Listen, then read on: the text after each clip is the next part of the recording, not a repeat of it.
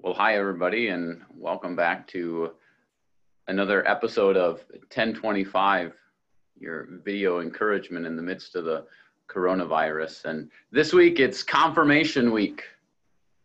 Well, at least it was supposed to be. And so, since we're postponing our celebrations, I thought I'd do some scripture shout outs for some of our students.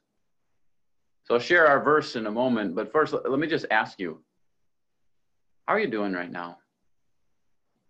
Like, how are you feeling?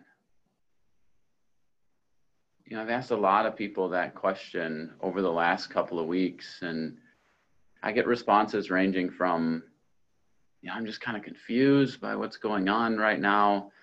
I'm tired. I'm overwhelmed. I'm worried. I'm a little bit more agitated by everything. And you take all of those responses, and, and really, I believe it boils down to one central emotion that we're struggling with right now. And that's anxiety. Which brings us to our scripture shout out. This one today is for Carson and Sawyer, and it's from 1 Peter chapter 5, verse 7. Cast all of your anxiety on him because he cares for you.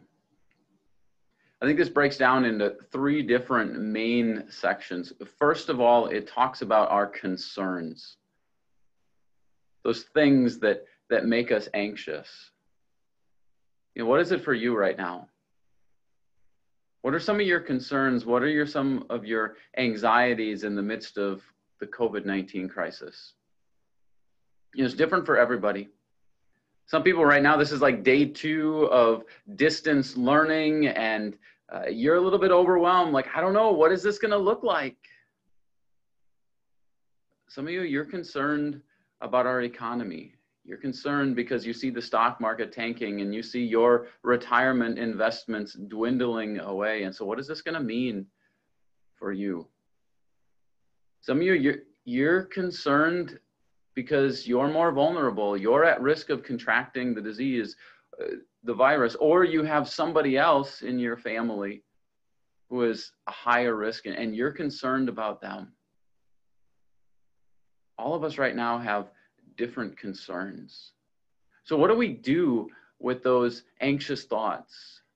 That's the second thing. We cast it. And here, this whole image of, of casting means that, that you throw something. It's like when you go fishing. So this is from the book of First Peter. So Peter is writing this. Peter is a fisherman and, and he understands casting, maybe not in the same way that we cast today. And I know a, a, few of you, you're starting to get anxious. The days are getting nicer. And as we get into May, it's the fishing opener, and you're going to be doing a lot of casting. But in the first century world, casting your nets meant that you took uh, a, the, this massive pile of nets and you threw it out of the boat into the sea. And this is what God invites us to do to take that massive pile of burdens that all of us have and just to, just to throw it out, to throw it over to Him. Which brings us to the third portion of this text. And that's the fact that God cares for us. And I love what Peter is doing here because he's shifting the focus from everything that we're up against and all of the concerns that we have. And really, anxiety centers around all of these what ifs. Like, what if this happens? I'm not sure about this. This is an unknown for me. And certainly, we're living in a time where there's a lot of unknowns. But then he shifts the focus to who is the one who remains for us? Who is the one who remains in control when everything seems to be out of control in our life? Who is the one who cares for us? And that's God. You know, I love what Jesus does in one of his sermons. This is in Matthew chapter 6, and he's talking about anxiety. He says, just look at the birds. Have you done that lately? Have you just paused to listen to the birds?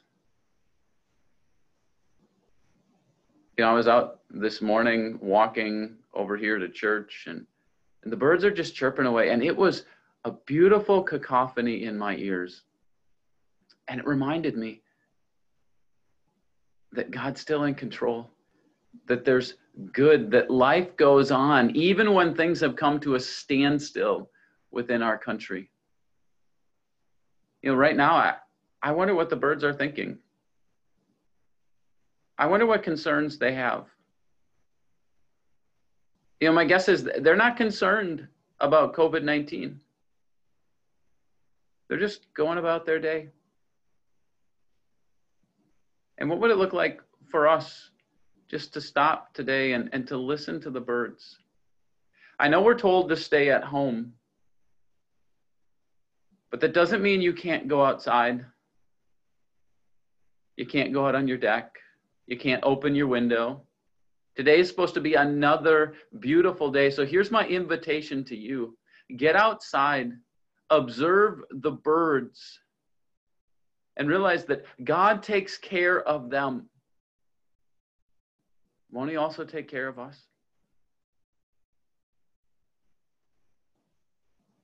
So, how are you doing today? I invite you to leave a comment below. Just just be honest about where you're at. Are you tired? Are you overwhelmed? Are you a little bit agitated right now? Are you just confused by a lot of what's happening? Here's my simple invitation to you then. Cast all your anxiety on him